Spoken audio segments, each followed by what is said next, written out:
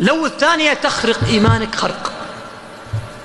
لو إنه ما راح كان ما جاء حادث.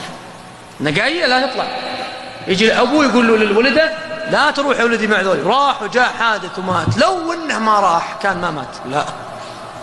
لا هذا إيمان مخلخل لأن الله عز وجل يقول لما قالوا ناس مجموعة من المنافقين قالوا لو كانوا عندنا ما ماتوا. قلنا قايم لا تروحون لو إنهم معنا كان ما ماتوا. الله عظيم جل جلاله. ما قال لهم قل فادرأوا عنهم الموت إن كانوا عندكم. الله يقول أنتم يعني عندكم الأمن؟ أجل فادرأوا عن أنفسكم أنتم الموت إن كنتم صادقين. واحد يقول لو أنه عندي كان دافعت عنه. تقول له أنت تحداك أنت تدافع عن نفسك.